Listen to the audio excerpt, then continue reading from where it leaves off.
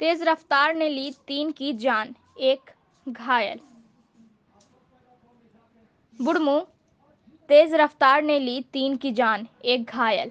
मृतक में अरुण मुंडा, सूरज मुंडा, दीपक उरांव शामिल है, जो बुड़मू थाना क्षेत्र के मक्का डहुआ टोला के रहने वाले थे। वहीं घायल विजय मुंडा 22 वर्ष, भी मक्का डहू टोला का ही निवासी है।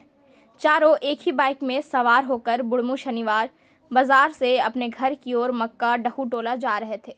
इसी क्रम में खड़ी ट्रैक्टर पर जोरदार टक्कर हो गई। टक्कर इतनी जोरदार थी कि तीनों की मौत मौके पर ही हो गई। एक गंभीर रूप से घायल हो गया। घायल को बुड़मू पुलिस की मदद से सीएचसी लाया गया, जहाँ इलाज चल रहा है।